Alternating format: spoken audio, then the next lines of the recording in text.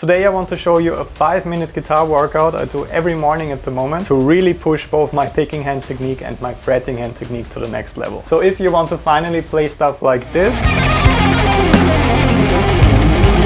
or like this